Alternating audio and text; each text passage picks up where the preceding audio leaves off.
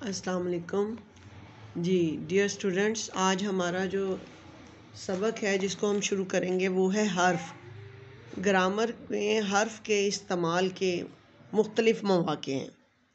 कवायद में हर्फ वो गैर मुस्तकिल लफ्ज़ होता है, जो तन्हा बोलने या लिखने में कोई ख़ास मानी पैदा नहीं करता, जब तक किसी जुमले में या दूसरे अल्फाज के साथ इस्तेमाल ना हो।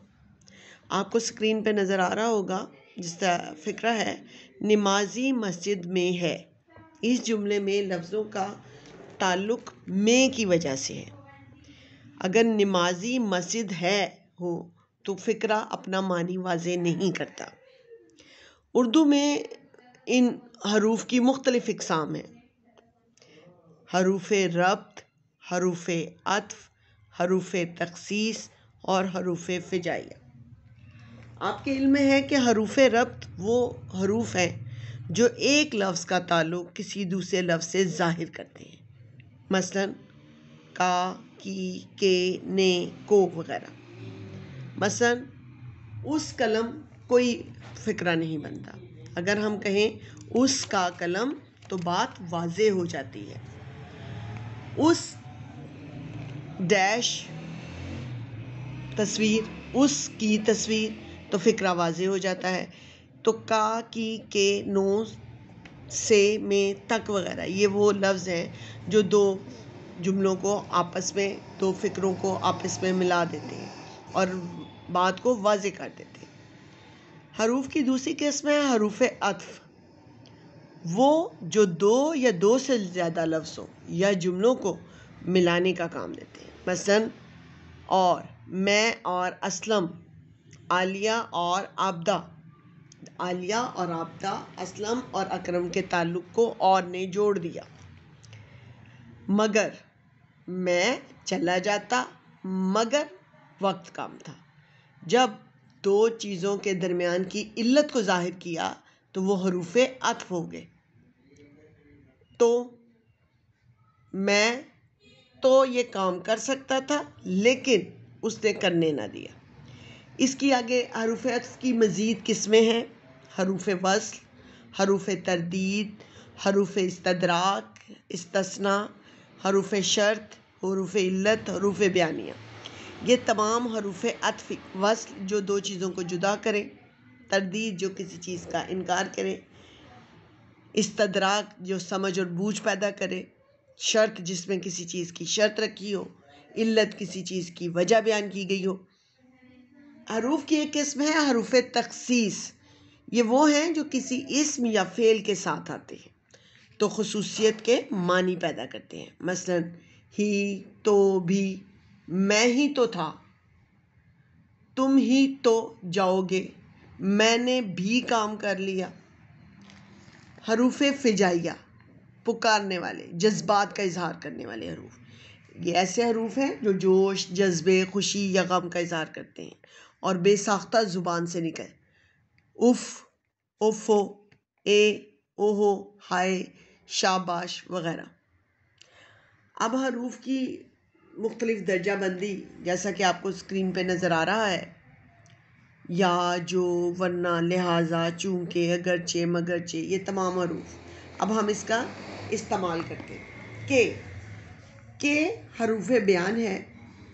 उसने वादा किया है कि मेरा काम हो जाएगा। के? अब उसने वादा किया है। दरमियान में जब हम के का इस्तेमाल करते हैं कि मेरा काम हो जाएगा तो ये बयानिया है। आप कुछ देंगे कि मैं किसी और से मांग लूँ? ये हरूफ, हरफ तरदीद है।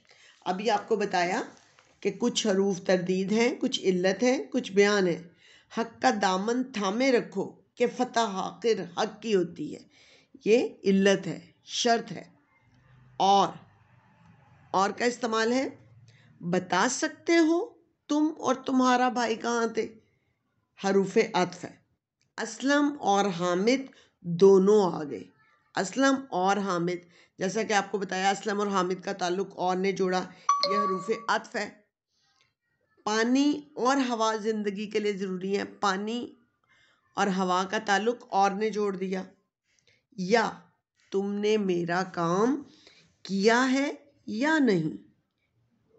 या मुझे बुला लो या तुम खुद चले आओ। यह हरफ तरदीद। जो बात जो दिल से निकलेगी, दिल में जाकर ठहरेगी। ये हरफ शर्त है। जो गलत काम करोगे तो नुकसान उठाओगे। जो यहाँ हरफ शर्त है, वरना तुम आ सको तो खैर, वरना मैं खुद आ जाऊँगा। ये इस्तेमाल से आपको पता चल रहा है कि किस तरह दो फ़िक्रों को, दो लफ्ज़ों को जोड़ा है, तरदीद का। लिहाजा मेहनत, कामयाबी का ज़रिया है, लिहाजा खूब मेहनत करो। अब लिहाजा जो है यह हरूफ इल्लत है, वजह है, सबब है। तुमने गाली दी, लिहाजा तुमने उसे पीटा। तुमने गाली दी, लिहाजा उसने तुम्हें पीटा। यानी तुम्हारे पिटने की वजह क्या थी? इल्लत क्या थी? ये हरफ इल्लत है। कि तुमने उसको गाली ना दी होती तो वो तुम्हें ना पीटता। चाहे यहाँ रहो, चाहे घर चले जाओ। हरफ तरदीद है। चाहे दुनिया इधर की उधर हो जाए, मेरी बात वही है। ये हरफ शर्त है। अगरचे अगरचे वो दौलतमंद है, मगर कंजूस है। इसमें वजह बता दी, जहन और अक़ल का इस्तेमाल बता दिया कि वो अगरचे दौलतमंद तो है, लेकिन कंजूस है, बल्कि वो चोर ही नहीं, बल्कि कातिल भी है। ये भी हरफ इस्तदराक है। लेकिन वो दोस्त है, लेकिन वक्त पर साथ नहीं देता। हरफ इस्तदराक। तो तुम दूसरों की इज़्ज़त करोगे तो दूसरे तुम्हारी इज़्ज़त करेंगे। ये हरफ जज़ा है। क्यों? कि आपको सिला तब मिलेगा जब आप किसी के साथ नेक अमल करोगे। अगर बुरा करोगे तो उसका बदला बुरा होगा। चूँकि चूँकि वो बीमार है, इसलिए कॉलेज नहीं आ सका। यानी उसके ना आने का सबब, उसके ना आने की वजह जो थी, वो ये थी कि वो बीमार था और इसलिए वो कॉलेज ना आया तो ये हरफ इल्लत। इन तमाम फ़िक्रों के इस्तेमाल से हमें ये पता चल रहा है कि हर्फ का इस्तेमाल बात के बयानिया को वाजिया करने के लिए किस कदर ज़रूरी है? अगर जुमलों में, फ़िक्रों में, इसम और फ़ेल की मिलावट में इन हरूफ का इस्तेमाल ना हो तो बात बिल्कुल वाज नहीं हो सकती। इसलिए इनका इस्तेमाल हमें बहुत अच्छी तरह आना चाहिए। कल ये बेटा आप लोगों ने सारा करना है। मैं आपको इसकी मज़ीद एक्सरसाइज करवाऊँगी।